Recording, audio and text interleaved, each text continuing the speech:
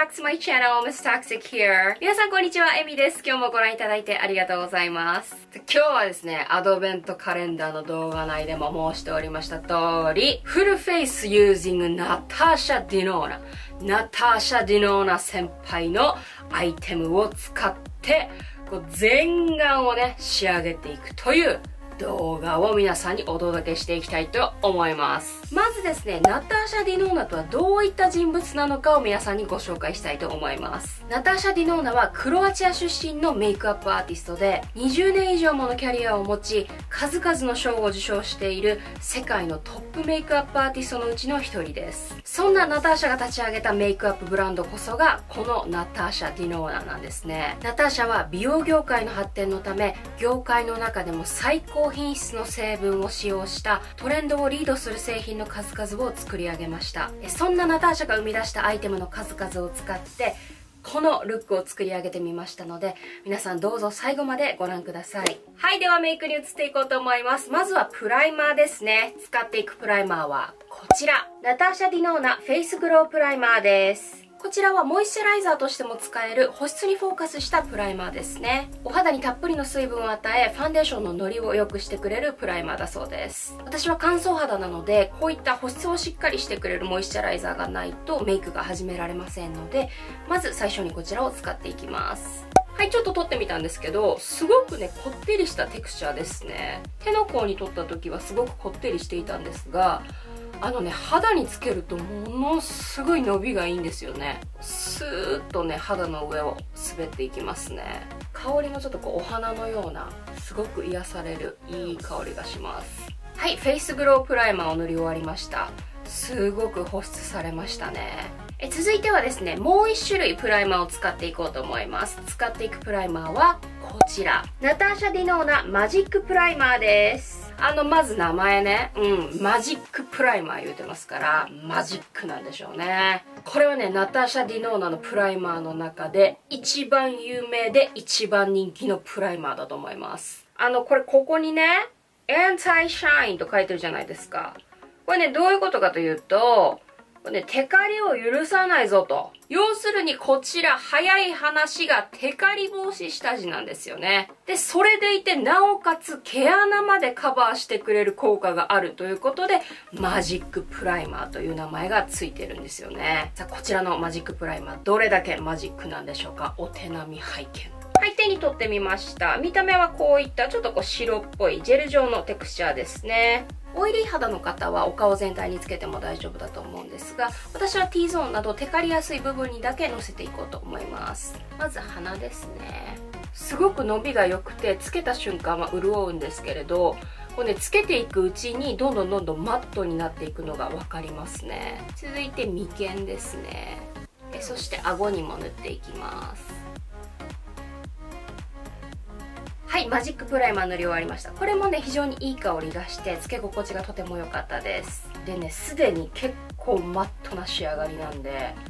これはね期待できますね。はい続いてはファンデーションです。使っていくファンデーションはこちら。ナターシャ・ディノーナファンデーション X プラス 05N ニュートラルフェアです。はい、こちらはフルカバレッジなんだけれども厚塗り感が出ず肌に美しい光沢を与えてくれるファンデーションなんだそうです。えちなみに私は 05N ニュートラルフェアという明るめのお色を選びました。ザクロなどのフルーツのエキスが配合されているアンチエイジングフォーミュラで使い続けることによって肌自体が綺麗になっていくことが期待できるんだそうです。でかつロングラスティングで汗や水にも強いっていうことでもうね嬉しいことだらけなんですけれども実際の使用感どんな感じなんでしょうか。塗ってみましょう。でこちらのファンデーションを私はスポンジを使って塗っていこうと思うんですがえ現時点でナターシャ・ディノーナではまだですねビューティースポンジの発売がされていませんので代わりにこちらのリアルテクニックスのスポンジを使っていこうと思います。リアルテクニックスのスポンジは大好きで今までも動画の中で何度もご紹介してきたんですがこちらはですね通常のオレンジのタイプとは違いパステルレインボーという限定色です。このラベンダーカラーがめちゃくちゃ可愛いですよね。今日はねこちらを使っていこうと思います。こちらすでに水を含ませた状態です。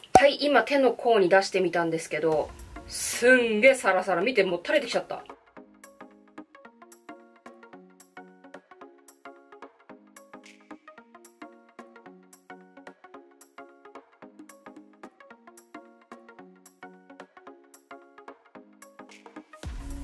ンデーション塗ってみました。いかがでしょうか？私の肌の赤みっていうのがもう見事にカバーされましたよね。でね毛穴も綺麗に隠してくれてますね。続いてはコンシーラーです。使っていくコンシーラーはこちら。ナターシャ・ディノーナトランスフィックスマットコンシーラー。3W ワームです。こちらはですね、ヒアルロン酸とコラーゲン、そしてトリプルアンチエイジング液細胞という、またしてもアンチエイジング効果のあるアイテムなんですね。独自のマイクロピグメントによって持続性にも優れているということなんですが、その真相やいかに使ってみましょう。ただですね、このシェードがね、私ミスりました。あの、わかりますか？これ完全にですね、ファンデーションより明らかに暗いです。これがねネット上でファンデーションやコンシーラーを選ぶ時の難しさだよね。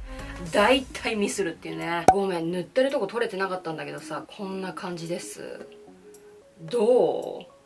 すげえオレンジじゃない。塗った部分は顎のニキビ跡とあとねこの小鼻の周りちょっと赤みが気になるところにも少しのせました。えだいぶ暗いんですがそんな時もねブレンドしたらなんとかなるんじゃないかと。思っております。ちょっとねやってみようと思います。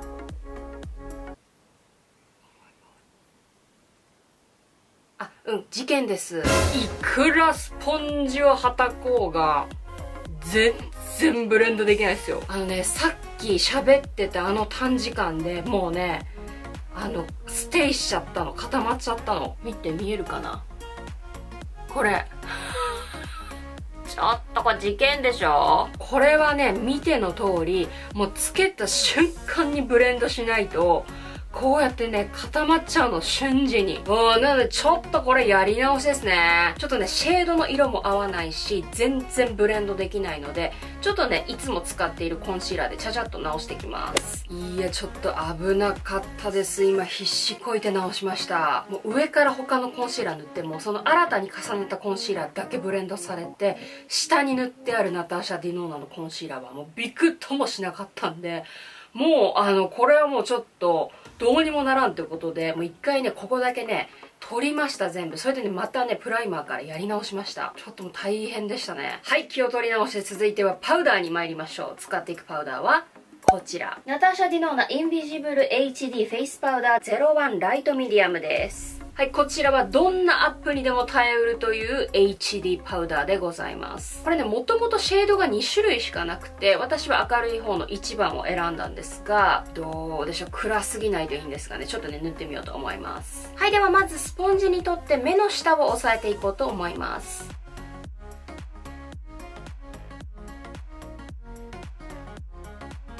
そうしましたら小鼻の周りも押さえていきます。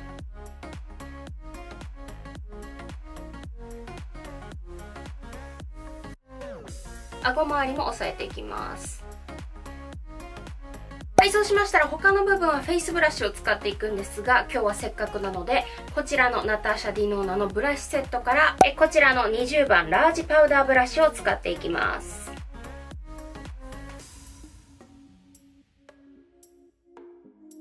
はい、パウダー塗り終わりました。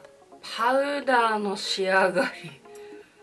どう？すごくないこれ。あれなんかフィルターかけてるみたいなね、仕上がりになりました。はい、続いてはコントワーに移っていこうと思います。使っていくアイテムは、こちら。ナターシャ・ディノーナコントワースカルプティングパウダー01ライトです。以前のスカルプティングパウダーの成分がさらに改良されて、よりリッチでシルキーな肌触りになったそうです。全部で5色あるんですが、私はそのうちの一番明るい1番のライトを選びました。で、先ほどのブラシセットに入っているコントワ用のブラシが、これしかなくてですねあまりにも小さすぎるしちょっとね平たいんですよね。まあ、例えばノーズシャドウとかはねいけると思うんですけどこれを使ってねここに入れるとなると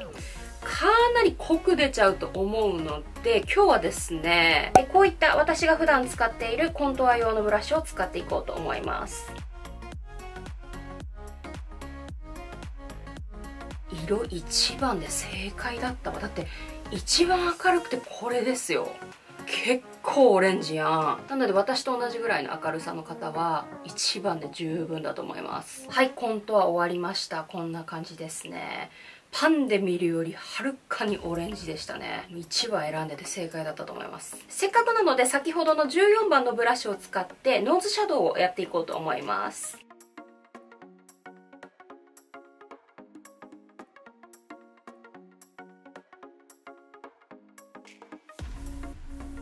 14番のブラシを使ってノーズシャドウを入れてみました。うーん。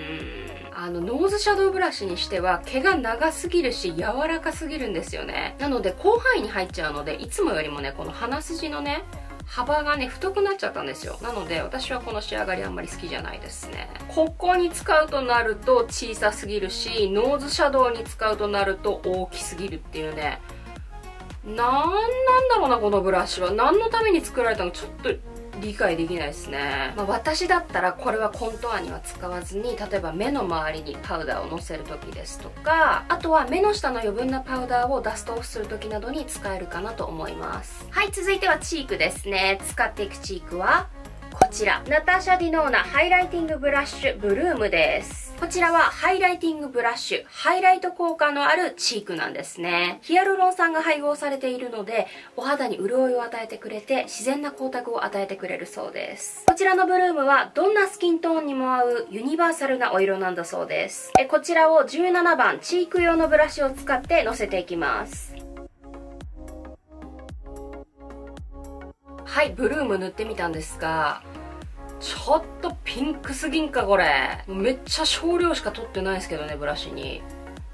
これなんかお手もやみたいじゃない？まあでもハイライティングブラッシュっていうだけあってハイライト効果はこれすごいですよね。ちょっとこれピンクすぎかなと思いますけどまあアイメイクとかしたらね他の部分のメイクやったらまあバランス取れるかもしれないですけど今はょっとこれお手もやんかなというね感じですね。はい続いて眉毛に移っていこうと思うんですがナタシャ・ディノーナにはブロージェルの作りがなかったので今日は代わりにこちらを使っていこうと思います。イラマスカプレシジョンブロージェルステアです。はいこちらはイギリスで大人気のコスメブランドイラマスカのブロージェルですね。こちらは耐水性に優れていて長時間にじみにくいフォーミュラなんだそうです。私はこちらを使うのが初めてなのでかなり楽しみにしています。使っていくブラシなんですがナターシャのブラシセットの中にこういったアイブロウパウダー用のブラシはあったんですがアイブロウパウダー用のブラシだと毛にちょっと厚みがあるのでなかなか細かいラインが描けないんですよね、えー、なので今日は代わりに私が使っているこちらのブロージェル用のブラシを使っていこうと思います。はいちなみにステアはこういったお色です。めちゃくちゃいい色してない？これ。なんかね若干プラムがかったダークブラウンなんですよ。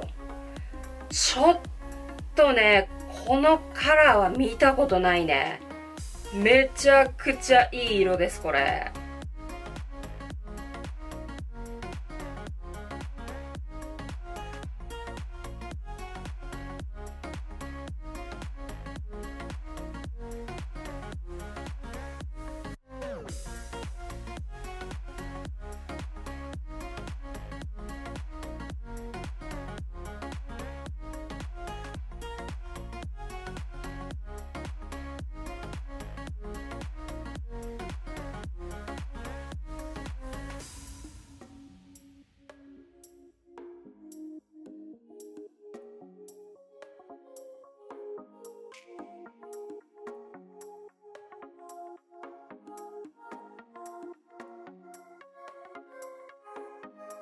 はいイラマスカの brow gel はこんな感じです。めちゃくちゃいいなこの色。はい続いては眉マスカラを使っていくんですがナターシャ・ディノーナには眉マスカラもなかったので代わりに今日はこちらを使っていきます。アイコ Brow Gel Light Brown です。はいもう私の大好きなもうずっと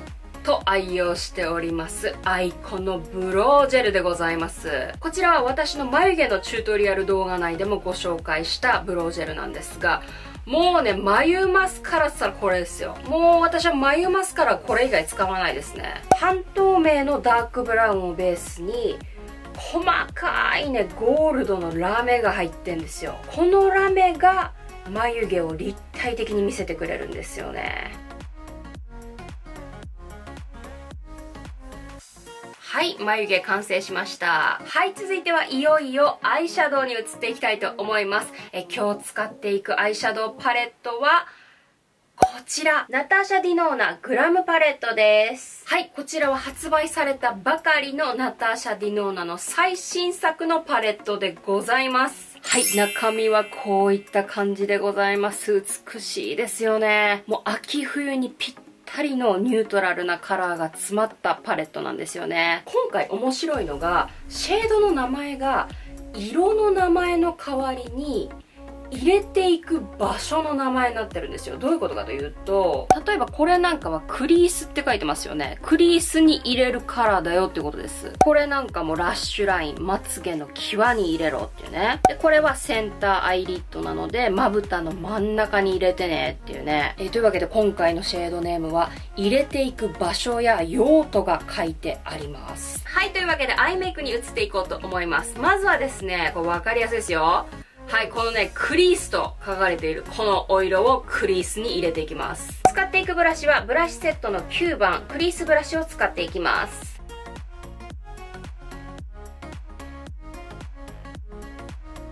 はい、クリースにクリースを入れましたけども。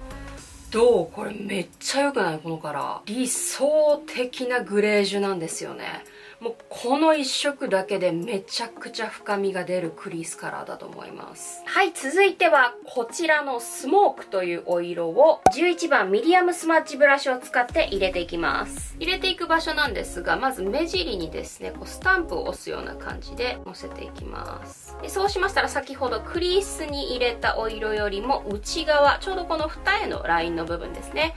ここに沿ってで目尻と二重のラインをこうくの字を描くようにして行ったり来たりします。はいこんな感じです。さらにねめちゃくちゃ深みが出ましたよね。はい続いてはこちら。真ん中のラッシュラインというお色を6番アイシャドウフラッフブラシを使って入れていきます。えまずはこの目尻のまつげの際ですね。ここに入れていきます。これもこうスタンプを押すような要領でトントントントントントンと入れていきますでちょっとだけラインっぽくしたいのでここから少し斜め上に向かってシュッと。はいこんな感じです。はいそうしましたら次も同じラッシュラインを使って4番のアイシャドウミニブラシで下まぶたに入れていきます。入れる場所なんですが文字通りラッシュラインに入れていくのでこの下まぶたのまつげのギリギリの際のところに入れていきます。入れる範囲は目尻から3分の1程度ですねはいこんな感じですはい、続いてはこちら、センターアイリッドを文字通りまぶたの真ん中にのせていくんですが、今回はブラシは使わずに指でのせていこうと思います。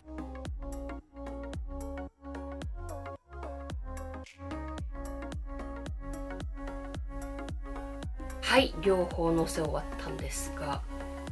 めっちゃ綺麗ですねこの色。続いてはこちらのイナーコーナーをナターシャのブラシセットの中にはこういったペンシルブラシが入っていなかったので代わりにこちらの他のブランドのペンシルブラシを使って入れていきます。入れていく場所なんですが先ほどセンターアイリッドのカラーを入れたよりも内側。ここね余ってる部分ありますよね。ここにまず入れていきます。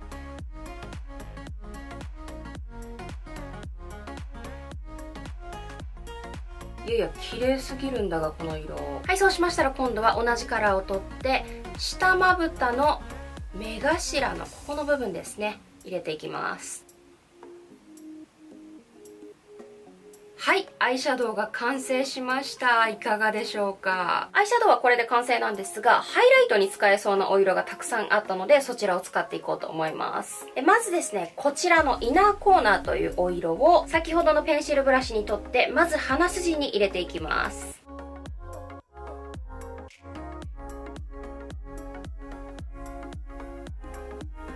そうしましたら同じカラーを唇の山の部分にも入れていきます。でこの眉山のブラウボンには他のカラーをね使う予定だったんですけれども今のせたイナーコーナーというお色があまりにも綺麗だったので同じカラーを取ってこのブラウボンにものせていこうと思います。はいそうしましたらアイシャドウが完成しましたのでマスカラに移っていこうと思うんですがナターシャ・ディノーナからはまだマスカラは発売されていないので今日は代わりにこちらを使っていきます。アイコ Lash Alert Mascara です。こちらは先ほどの brow gel と同じメーカーのアイコから出ているマスカラなんですがアイコのマスカラはね私今回初めて使うので非常に楽しみにしております。シアバターのコンディショニング成分が配合されていて使用を重ねるたびにまつげの強さと弾力性が改善され太く長く密度が濃いふさふさのまつげにしてくれるといういやそれが本当だったらですよまつげ美容液いらなくなるかもわかんないです、皆さん。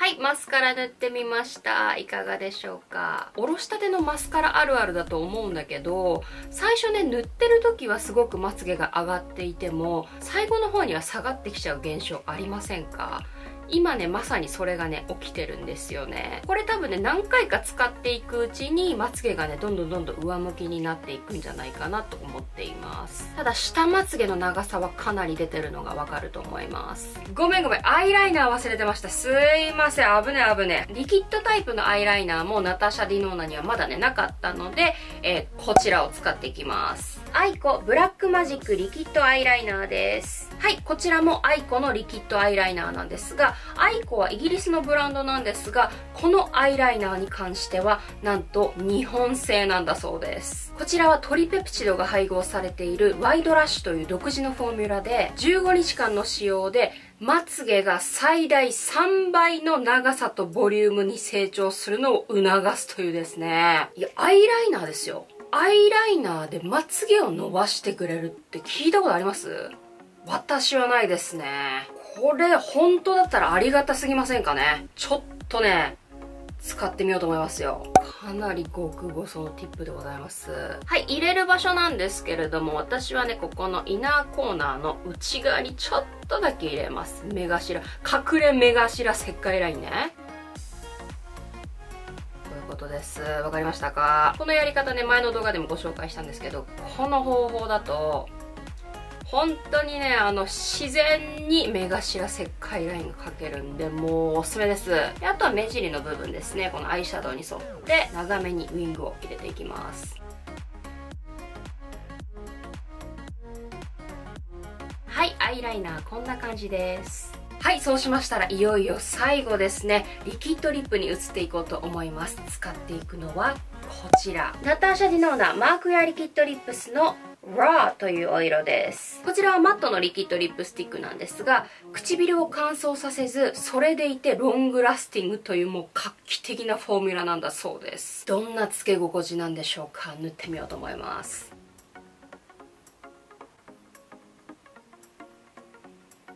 え？すご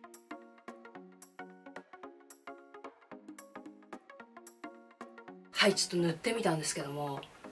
いや、このフォーミュラはすごいわ。ちょっと後で詳しくお話します。はい、メイク終わったと思ったんですけど、私ね、重要なステップをね、忘れてましたね、これね。ハイライトですよ。ただ、そのブラッシュ、チークがハイライティングブラシなので、チークだけでこうハイライト効果があるわけですよ。なので、まあ、わざわざ別にハイライトを乗せなくてもいいというね、ものなんで、まあ、このままでも全然いいと思うんですけれども、せっかくなんでですね、鼻筋などに乗せたこちらのイナーコーナーというオイルを使って、この頬骨の高い位置にね、入れていこうと思います。ナターシャのブラシセットの中になぜかハイライティングブラシがなかったので、私がいつも使っているこちらのハイライティングブラシを使っていきます。せっかくなんでおでこにも入れようと思います。顎にも入れましょうかね。はいというわけでフルフェイスユージングナターシャ・ディノーナメイク完成いたしました。皆さんいかがでしょうか？そしたらですね、今日使ったアイテムの一個一個の改めてのレビューを今からね、やってまいりたいと思います。まずはですね、こちらの Face Glow Primer なんですが、これね、私非常に気に入りましたね。テクチャーはこってりしてるんですけども、非常に伸びが良くって保湿力がね、素晴らしいですね。で、ナターシャのプライマーにしてはお高くないので、うん、これね、とってもいいと思います。特に乾燥肌の方にはおすすめです。えー、続いてこちらの Magic Primer なんですけども、これもね、結構おすすめですね。今のところテカリが抑えられているようです。まあ、でもまだつけて1時間ぐらいしか経ってないので、もう一日中ね、崩れないかさどうかわかんないんですけれども、今のところファーストインプレッションとしてはとてもいいと思います。はい、続いてはこちらのファンデーション X プラスなんですけれども、これね、私何が驚いたかって、そのね、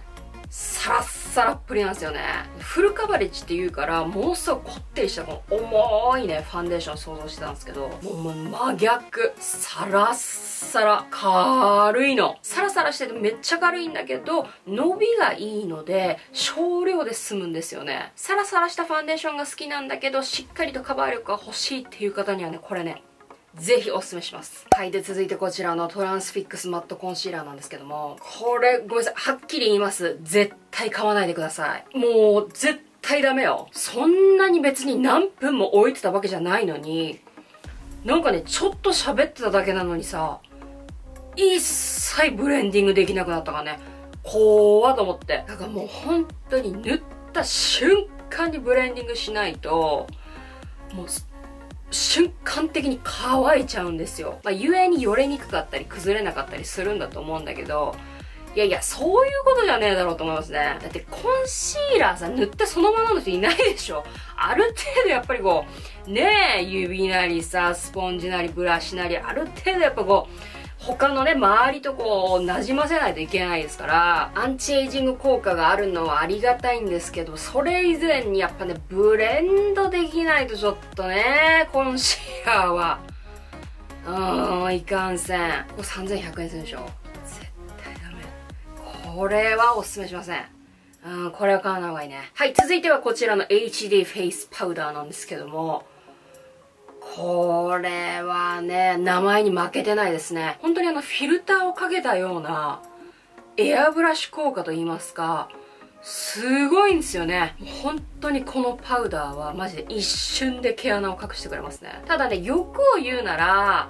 もうちょっとね、あの、カラーレンジが欲しい。2色つはきついっしょ。できればトランスルーセントが欲しかったなっていう感じですね。もうこれのトランスルーセント出たら絶対に買います。それぐらいパウダー自体はとても素晴らしいです。このブラシセットなんですけど、まあ、今日ね、動画内で全部、12本全部を使えたわけではないので、あんまりこう、無責任なこと言えないんですけど、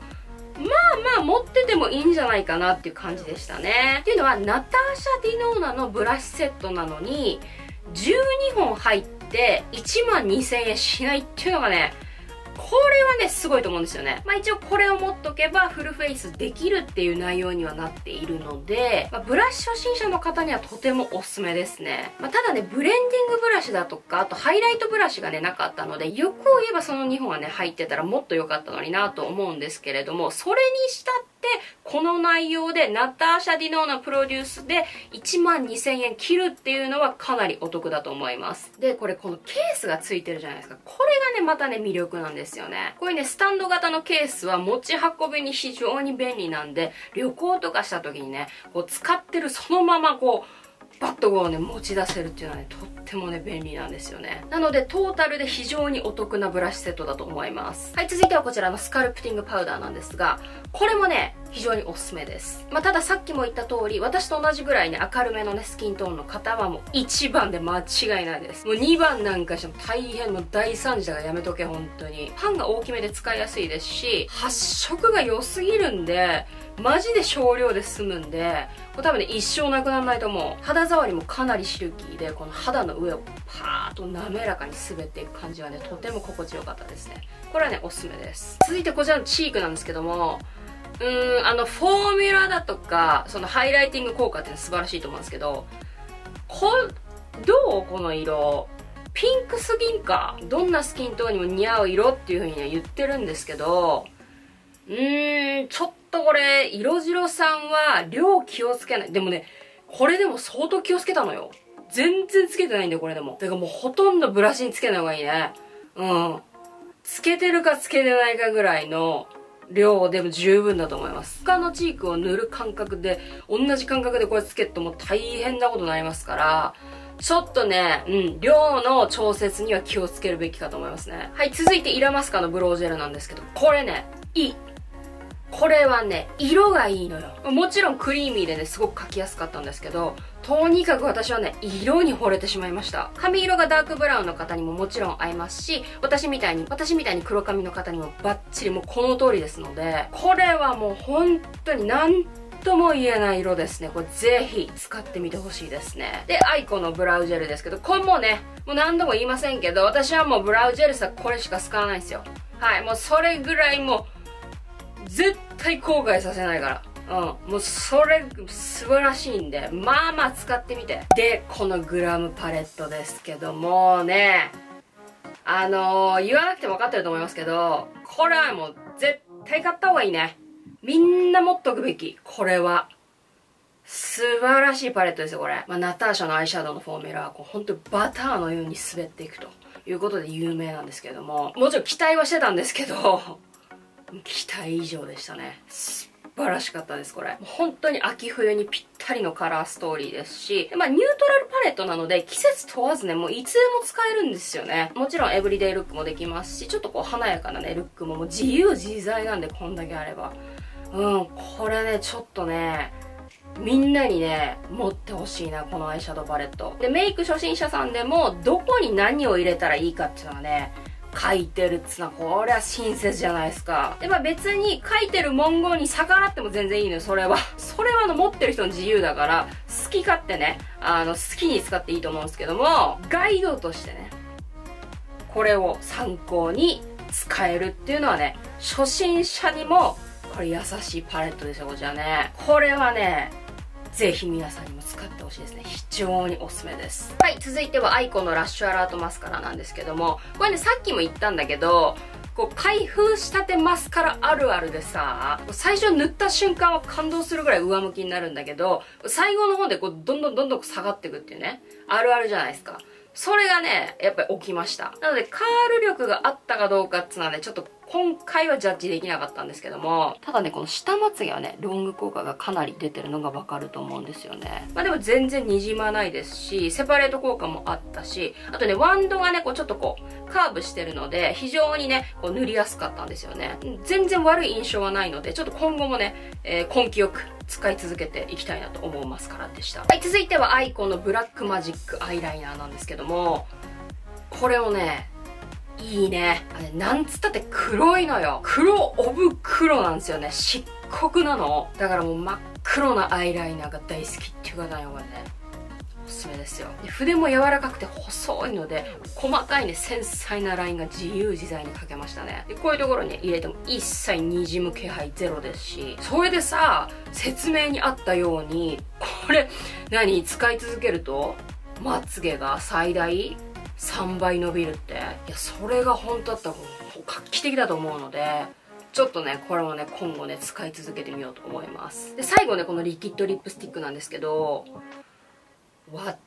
これね本当にびっくりしましたつけた時の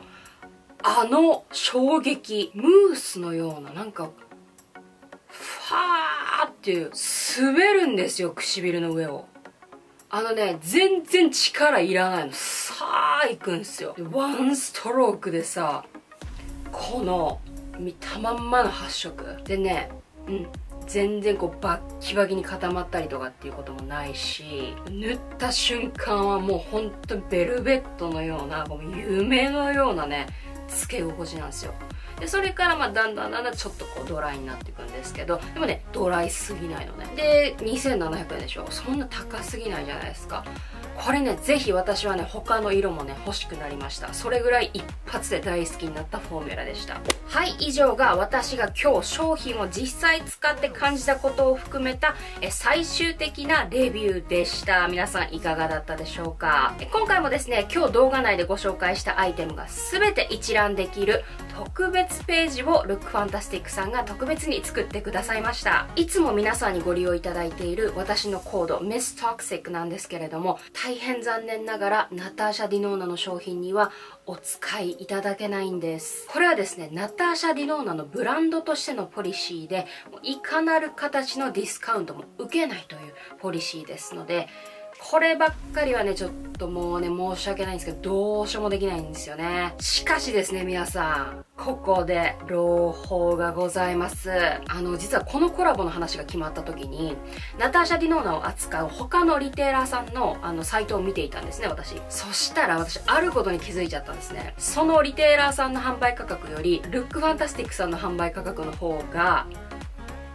結構高かったんです。数百円とかっていうレベルじゃなくて結構千数百円。2000円近く高いのもあったわけ。ちょっとこれはまずいんじゃないかなと。いうことですぐですね、いつもお世話になっている PR の方にすぐ私、えー、連絡しまして、これあの、できれば、え価格差がないようにしていただきたいと。